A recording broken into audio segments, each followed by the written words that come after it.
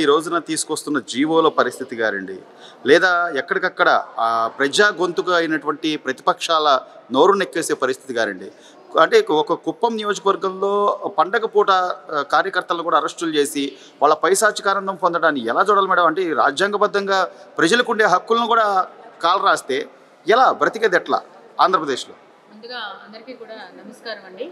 ఇవాళ స్వర్గీయ శ్రీ నందమూరి తారక రామారావు గారి వర్ధంతి కాబట్టి ముందుగా మహానుభావుని స్మరించుకుంటూ ఎందుకు ఇవాళ రామారావు గారి గురించి ప్రస్తావిస్తున్నామంటే ఆయన వర్ధంతి అయినప్పటికీ కూడా ఇవాళ మహిళలకి ఆస్తులు సగభాగం కల్పించారు. అలానే ఇవాళ మహిళలు గవర్నమెంట్ ఎంప్లాయీస్ చూసుకుంటే కానివ్వండి ఎవరైనా సరే ఇవాళ మహిళలకి థర్టీ త్రీ పర్సెంట్ రిజర్వేషన్ కల్పించి బడుగు బలహీన వర్గాలకి ప్రతి పేదవాడికి నాణ్యమైన కూడు గుడ్డ ఇల్లు కావాలి అనేది తెలుగుదేశం పార్టీ సిద్ధాంతం. ఇవాళ ఆ పార్టీ పునాదుల మీద నుంచి ఇవాళ చాలా మంది కొత్తగా రాజకీయ నాయకులుగా కానివ్వండి విద్యా విధానాల్లో చాలా మార్పులు వచ్చినాయి. కాబట్టి ఇవాళ తెలుగు జాతి గౌరవాన్ని ప్రపంచ స్థాయికి తీసుకెళ్ళిన గొప్ప వ్యక్తి నందమూరి తారక రామారావు గారు. కాబట్టి ఇవాళ ఆయన వర్ధంతి సందర్భంగా ఆయన ఒకసారి స్మరించుకుంటూ ఇవాళ మనం మాట్లాడదాము.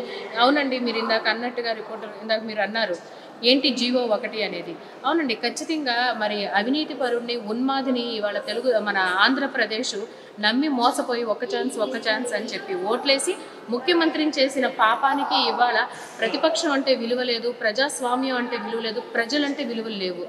మనం ఇవాళ జీవో ఒకటి గురించి ప్రస్తావిస్తున్నామండి. గతంలో మరి అధికారంలోకి వచ్చి వెంటనే కూడా మరి మనకి చూసుకుంటే కూడా ఫోర్త్ మన ఎంబ్లంలో ఫోర్త్ ఎంబ్లం వచ్చేసి ప్రెస్. అంత గొప్ప స్థానం ఉన్న మీడియాని కూడా ఇవాళ పత్రికల్ని కూడా ఆయన ఒక చీకటి జీవో తీసుకొచ్చి పత్రికా స్వేచ్ఛని కూడా ఆయన పీకనొక్కేలాగా చేశారు. ఇవాళ ఈ ప్రభుత్వం మీద నిజంగా ప్రతి దాంట్లో కూడా ప్రజా వ్యతిరేక నిర్ణయాల మీదే నడుస్తూ ఉంది ఈ జగన్మోహన్ రెడ్డి ప్రభుత్వం. ఇవాళ కనుక ఆంధ్రప్రదేశ్లో న్యాయస్థానం అనేది లేకపోతే ఆంధ్రప్రదేశ్ అనేది ఇప్పటికే సౌత్ బీహార్ అని అంటున్నారండి. అంతకంటే కూడా అట్టడుగు స్థాయిలోకి మనం వెళ్ళిపోట వెళ్ళిపోతామనే దాంట్లో మాత్రం ఎటువంటి డౌటు లేదు. అంటే ఈ ప్రభుత్వం చూడండి ప్రతిపక్షంలో ఉన్నప్పుడు అమరావతి ఏకైక రాజధాని మా ఎజెండా అని చెప్పారు. ఇవాళ అధికారంలోకి రాగానే అన్నం పెట్టిన రైతుల్ని రియల్ ఎస్టేట్ బ్రోకర్లు చేశారు దొంగల్ని చేశారు. అలానే నెక్స్ట్ చూసుకుంటే అమరావతి రైతులు ఏంటండి? మన హైకోర్టు ఇచ్చిన తీర్పును అమలు చేయండి అమరావతిని డెవలప్ చేయండి ఆ రోజున సిఆర్డిఏ చట్టం చేసేటప్పుడు ఏదైతే ప్రభుత్వం మాకు ఇచ్చిందో కండిషన్స్ దాని ప్రకారం డెవలప్ చేయండి అని చెప్పి రైతులు అమరావతి పాదయాత్ర సెకండ్ పాదయాత్ర చేస్తుంటే ఒక ఎంపీ అయ్యుండి బాధ్యతారహితంగా ఇవాళ వాళ్ళ మీద ప్యాకెట్లు అంటే బీర్ బాటిల్స్ కానివ్వండి సారా ప్యాకెట్లు కానివ్వండి చెప్పులు విసరటం దేవుడు రథం మీద చెప్పులు విసరడం దుస్థితి వైసీపీ ప్రభుత్వం అందండి అలానే వాళ్ళని భయపెట్టి అమరావతి పాదయాత్ర ఆపాలని చెప్పి ప్రతి చోట వెళ్ళిన ప్రతి చోట కూడా విధ్వంసం సృష్టించాలని కుట్ర చేస్తూనే వచ్చారు. ఇప్పుడు కొత్తగా చూసుకుంటే లోకేష్ గారి పాదయాత్ర ఎలా జరిగిద్ది మేము ఆపుతామని చెప్పి సవాల్ విసురుతున్నారు. లోకేష్ గారు చేసే పాదయాత్ర గతంలో జగన్మోహన్ రెడ్డి ఇలాగా ఓదార్పు యాత్ర కాదు లేదా ఏ రాజకీయ యాత్ర కాదు. ఇప్పుడు ఉన్న ప్రభుత్వం ఇప్పుడు ఉన్న ప్రభుత్వం ప్రజాస్వామ్య హక్కుల్ని కాలరాస్తూ ఆంధ్రప్రదేశ్ అభివృద్ధిని కాలరాస్తూ అలానే ఫ్యూచర్ ఆఫ్ ద నేషన్ అయినటువంటి యువత భవిష్యత్తుని కాలరాస్తుంది కాబట్టే ఇవాళ ప్రజలందరి తరపున లోకేష్ గారు ఆంధ్రప్రదేశ్ భావితరాల భవిష్యత్తు కోసం చేస్తున్న పాదయాత్ర. ఖచ్చితంగా ఈ పాదయాత్రలో మేమందరం కూడా పాల్పంచుకుంటామండి. మేము న్యాయస్థానం ద్వారా మేము న్యా అంటే తీర్పును తీసుకుంటాము. న్యాయస్థానం ఇచ్చిన జడ్జిమెంట్ను గౌరవించి మనకి కాన్స్టిట్యూషన్ ఇచ్చిన అంటేనండి భారత రాజ్యాంగం మనకి ఇచ్చిన హక్కు అంటే రైట్ టు స్పీక్ అనేది భావ వ్యక్తీకరణ స్వేచ్ఛ అనేది మనకి మన కాన్స్టిట్యూషన్లో ఉన్న హక్కు. ఇవాళ అవి కూడా తెలియని ఈ ముఖ్యమంత్రి ప్రజా హక్కుల్ని కాలరాసి అధికారం నా చేతుల్లో ఉంది కదా మరి ముఖ్యంగా పోలీస్ యంత్రాంగం అండి. కరుడు కట్టిన వైసీపీ కార్యకర్తల కన్నా దారుణంగా పనిచేస్తున్నారు.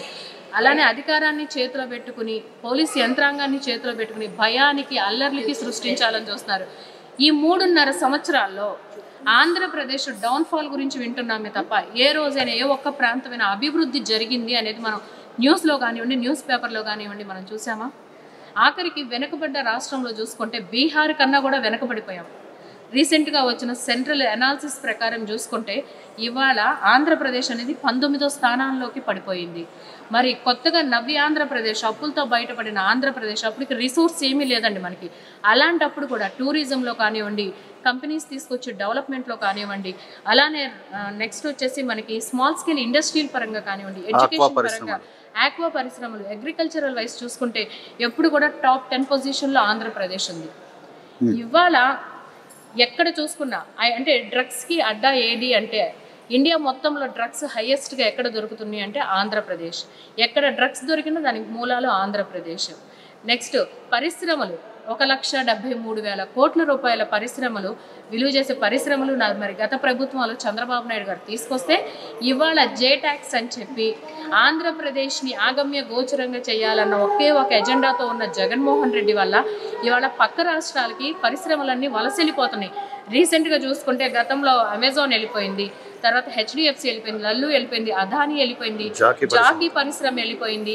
మరి రీసెంట్గా అమర్ రాజా వాళ్ళు పదివేల కోట్ల రూపాయలు పెట్టుబడి తెలంగాణ గవర్నమెంట్ స్వాగతించింది వాళ్ళని స్వాగతించింది. అలానే దానివల్ల పాతిక వేల మందికి ప్రత్యక్షంగా పరోక్షంగా ఉద్యోగాలు వచ్చినాయండి. రైతులండి ఆఖరికి రైతులు కూడా చూసుకుంటే ఆంధ్రప్రదేశ్ మొత్తం మన వైపు చూసేలాగా చేస్తాను నాకు ఒక్క ఛాన్స్ ఇవ్వండి అన్నాడు. నిజంగా చే ఆంధ్ర రా అంటే దేశం మొత్తం కూడా ఆంధ్రప్రదేశ్ వైపు చూసేలాగా చేశాడు. ఎందులో అంటే మహిళల మీద జరిగే అత్యాచారాల్లో అలానే రైతుల ఆత్మహత్యల్లో ఇంకా దుస్థితి ఏంటంటే కౌలు రైతుల ఆత్మహత్యల్లో కూడా ఆంధ్రప్రదేశ్ మొదటి రెండో స్థానంలో ఉందండి. కౌలు రైతుల ఆత్మహత్యల్లో కూడా. మరి తర్వాత చూసుకుంటే విద్యార్థులు అంటే మన నిరుద్యోగులు ప్రతి సంవత్సరం నేను జాబ్ క్యాలెండర్ రిలీజ్ చేస్తా. రెండు లక్షల అరవై వేల ఉద్యోగాలు భర్తీ చేస్తానని మాట్లాడాను ఈ జగన్మోహన్ రెడ్డి ఇప్పటి వరకు ఎన్ని ఉద్యోగాలు భర్తీ చేశాడండి? కానీ వినల్ గారు మీరు చెప్పినట్టుగా అనేక రకాలుగా అన్ని స్థానాల్లో అప్పుల్లో కూడా మొదటి స్థానంలో ఉన్న ఆయన నేను బెస్ట్ సీఎం అనిపించుకుంటా అన్న వాడి దానిలో మాత్రం చివరి వరుసలో ఉన్నాడు. కానీ సంపన్న వర్గమైనటువంటి సీఎంలో మాత్రం మొదటి మొదటి స్థానంలోకి వచ్చాడు. అది ప్రజలు గమనించగలుగుతున్నారా? ఖచ్చితంగా అండి. ఖచ్చితంగా ప్రజలు తిరగబడుతున్నారు. దానికి నిదర్శన గడప గడపకి వైసీపీ అని వాళ్ళ ఎమ్మెల్యేలు వెళ్తున్నప్పుడు వచ్చే స్పందనని మనం చూస్తున్నాము. గడప గడపకి వైసీపీ వెళ్ళినప్పుడు రోడ్లేవి మీరు ఇస్తా ఎందుకంటే రీసెంట్గా కృష్ణలంకలో ఏం జరిగిందండి? విజయవాడ కృష్ణలంకలో. జరిగిన సందర్భం కూడా మనం చూసాము. అంటే వీళ్ళు ఏంటంటే ప్రతి చోట కూడా వీళ్ళు ఏమైతే వాగ్దానాలు చేశారో ఆ వాగ్దానాల గురించి గ్రామాల్లో రోడ్లు వేయగలిగారండి వీళ్ళు. బెస్ట్ సీఎం కాదు ఈజ్ ద వరస్ట్ సీఎం అనేది తనకి తెలుసు. అందుకే మీరు చూడండి వలసలు మొదలైనవి వాళ్ళ పార్టీలో ఉన్న సీనియర్ మోస్ట్ నాయకులు కానివ్వండి ఎమ్మెల్యేలుగా ఉన్న వాళ్ళు మినిస్టర్లుగా ఉన్న వాళ్ళు కూడా అసంతృప్తి తెలియచేయటం అనేది మనం చూస్తూనే ఉన్నాం. ఈ మధ్య కాలంలో మొదలైంది అవును. మేమేం డెవలప్మెంట్ చేసామని మేము ప్రజల్లోకి వెళ్ళాలి అనేది వాళ్ళల్లో వాళ్ళకి ఒక అవునండి. సీనియర్ మోస్ట్ లీడర్లు వసంత కృష్ణ ప్రసాద్ గారు కూడా మైలవరం వసంత కృష్ణ ప్రసాద్ గారు కూడా స్టేట్మెంట్ ఇచ్చారు. ఇవన్నీ కూడా చూసుకుంటే ఏంటంటే రౌడీల్ని పోకిరి గాళ్ళని పెట్టుకుని మేము రాజకీయాలు చేయలేని పరిస్థితి. ఎందుకు నేను రాజకీయాల్లోకి వచ్చానా? అసలు ఎమ్మెల్యేగా ఉండి నేను ఏం చేస్తున్నాను అనేది నాకు ఒక పెద్ద క్వశ్చన్ మార్క్ అయిపోయింది.